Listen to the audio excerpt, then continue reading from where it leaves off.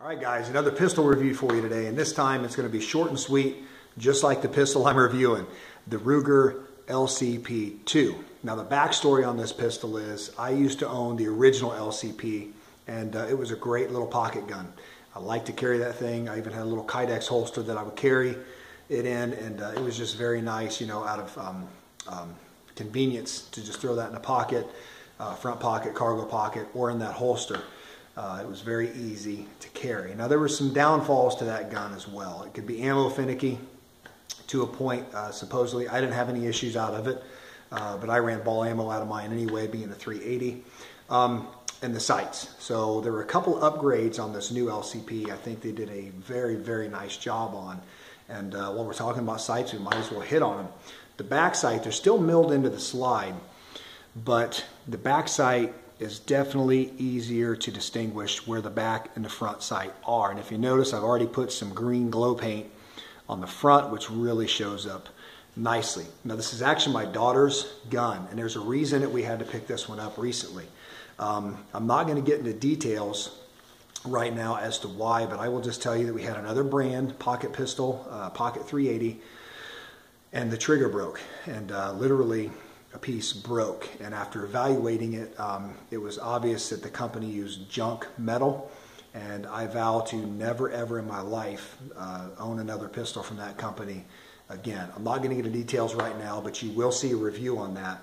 Uh, as soon as the part gets to me from the company and then I can repair the gun, I'm going to do a review all right, and I'm going to post it on the company's Facebook page so they can see what kind of junk they make for everybody to see.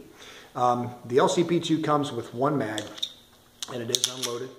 Uh, one mag helps them keep the cost down, which is a, a, nice feature. You know, you can pick these up for between 265 and, and 299. I paid 279 for this one, and uh, I think with sales tax it was like right at 299. So it's really a really a great deal.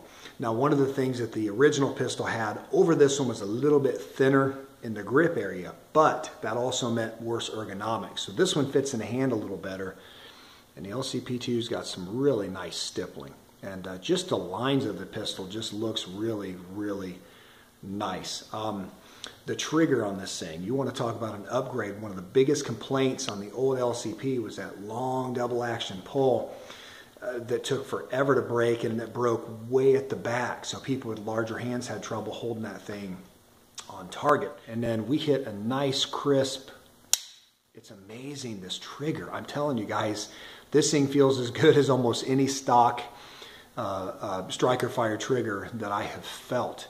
Uh, I'm not going to show you the reset because most guns this size, including this one, do reset pretty much all the way out. But the beautiful thing is, is that crazy break is just so crisp and so nice.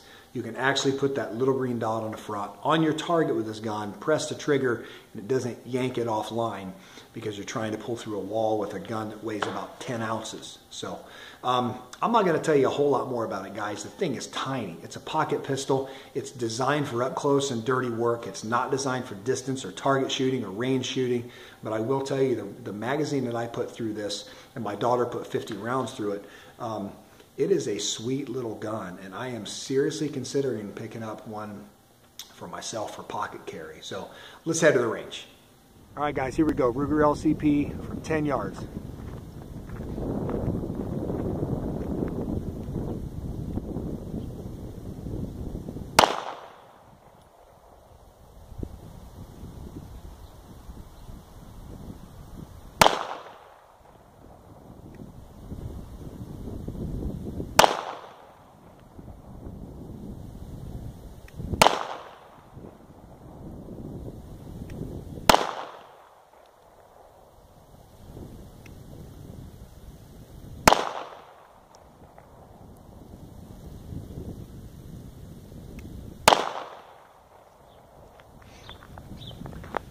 Of the really cool features also with the new Ruger LCP2 is that the slide locks back when the magazine is empty. Now you can use old mags with this gun, but it won't lock the slide back. So that's a really cool feature. Let's go take a look at the targets. And uh, cool thing about this, I can stick it in my pocket. It's so small. So let's head up. Take a look at this target. doesn't look too bad. Again, it's a six inch circle and that's from 10 yards and it's a frigid day. Uh, it's not as cold as yesterday when I came over and tested my Meprolights when it was um, 10 below zero, but uh, the wind chill still right now is about 12 degrees. So it's cold, my trigger finger's cold, but let's take a look. All right, so there you go. All seven rounds. Uh, again, six inch target. We Take a look at a fist right there. We're in that fist size.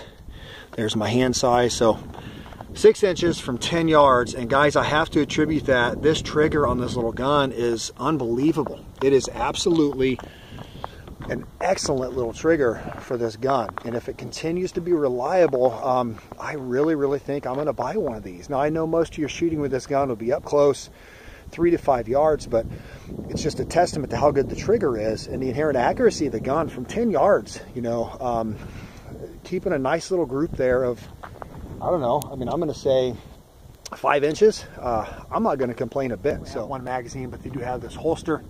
It's a regular nylon holster, great for pocket, but it also has this little strip. And uh, it's actually really nice for keeping in the waistband, and it holds. It's secure when you pull that gun. So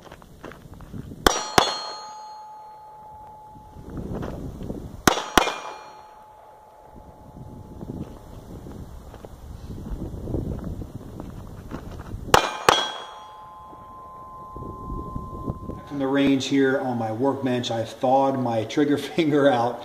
Um, and I really, really can't say enough about this, this gun. The 100 rounds we've put through it total, I put 56 through it, and my daughter's put 50.